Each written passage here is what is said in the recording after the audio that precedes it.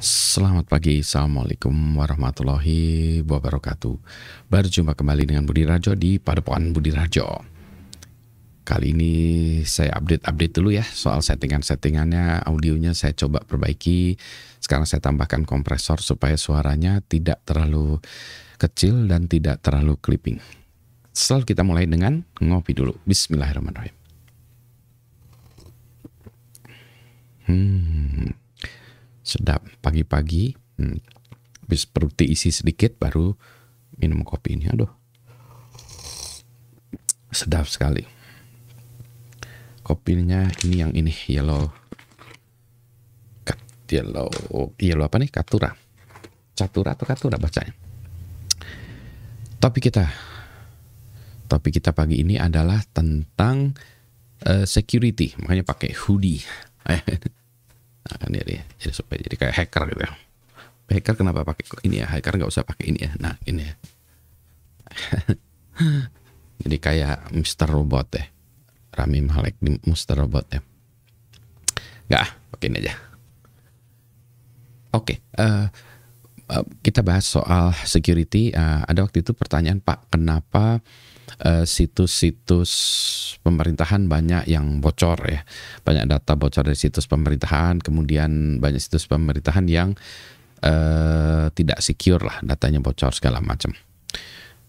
Uh, sebetulnya menurut saya ini sesuatu yang jangan diharap jangan dianggap sebagai suatu hal yang aneh atau mengherankan ya. Uh, itu kayak bilang gini, uh, kenapa ada dokter yang sakit ya? kan dia dokter Iya dokter juga ada yang sakit. Bahkan ada juga kenapa ada dokter yang ngerokok? Banyak dokter yang ngerokok ya. Cuma dia tahu bukan masalahnya itu bukan masalahnya nggak tahu bahwa itu uh, tidak sehat tahu, tapi dia mengambil risikonya. Balik lagi kepada masalah uh, security dari situs atau uh, apa uh, tempat pemerintahan.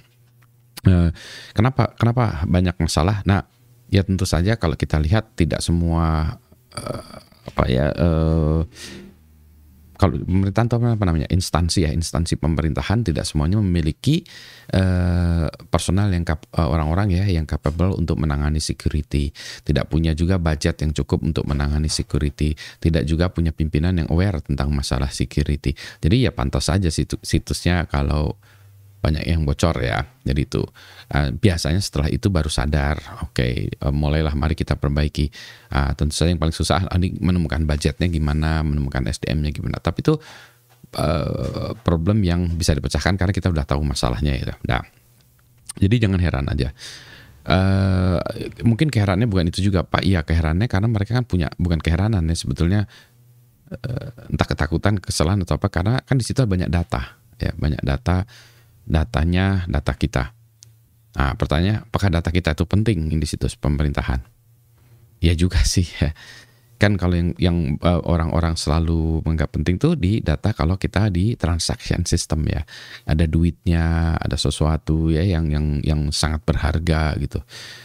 Nah, itu tentu saja harus dijaga dengan uh, luar biasa habis-habisan. Nah, itu yang dilakukan oleh uh, situs-situs uh, perbankan misalnya dia punya punya uh, pengamanan yang sangat baik karena yaitu dia ada ada hal yang sudah pasti bisa kelihatan bisa terukur ya langsung tangible gitu kelihatan. Ada duit gitu. Sekarang kalau kita bicara lagi uh, data di kita di situs pemerintahan uh, penting nggak penting? Tentu saja. Itulah sebabnya data dikumpulkan. Kalau nggak penting nggak usah dikumpulkan deh. Data dikumpulkan tuh penting. Nah, yang repot adalah kalau data ini digunakan untuk transaction system. Dan biasanya juga digunakan. Misalnya data pribadi kita di kependudukan ya jelas itu digunakan untuk sebagai identitas ini siapa Budi Raharjo atau siapa gitu ya. Kalau data di kesehatan dilihat ini Budi Raharjo udah divaksin atau belum. Kalau data di mana lagi? Di imigrasi ya, uh, ini Budi Raharjo keluar negeri paspornya valid atau enggak gitu ya data di mana lagi. Uh, ya sebenarnya gitu penting gitu ya. Jadi semuanya penting. Uh, tetapi lagi-lagi ya pengamanan itu secukupnya. Supaya nggak terlalu apa ya lebay gitu ya semuanya. Ya bidang saya bidang keamanan. Jadi saya paham bahwa keamanan itu harus secukupnya. Sayangnya memang sering kali tidak cukup ya tidak cukup. Uh, bahkan kalau kita punya rumah pun ya kita pengamanan tergantung. Kalau di daerah misalnya nggak usah pakai pagar yang setinggi langit gitu ya, cukup dengan apa eh, gedek gitu ya, apa ya gedek gitu ya di batas itu juga cukup. Atau pagar dengan cukup pagar bambu juga cukup ya. Jadi ya cukup gitu ya. Menurut saya eh, tidak tidak perlu berlebihan. Pengamanan secukupnya saja gitu ya. Jadi jangan jangan bingung-bingung lagi ya. Ntar saya mau uh, ngopi lagi dulu ya. Jadi itu aja singkatnya pagi ini adalah seperti itu.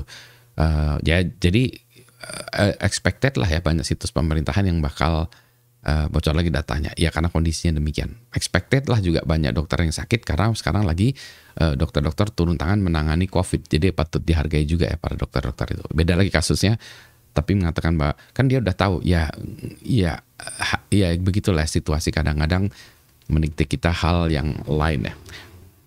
Ngopi dulu. Selamat pagi. Assalamualaikum warahmatullahi wabarakatuh. Sekalian ngetes ini suaranya. Semoga suaranya sekarang lebih bagus. Ini saya juga ngomongnya pelan supaya tidak clipping ya. Nanti kita lihat lagi konfigurasinya supaya saya bisa lebih teriak-teriak dan tidak clipping. Nanti settingannya saya ubah-ubah dulu ya.